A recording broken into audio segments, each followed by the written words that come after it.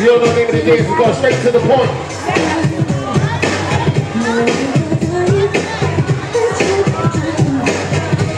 Thank you.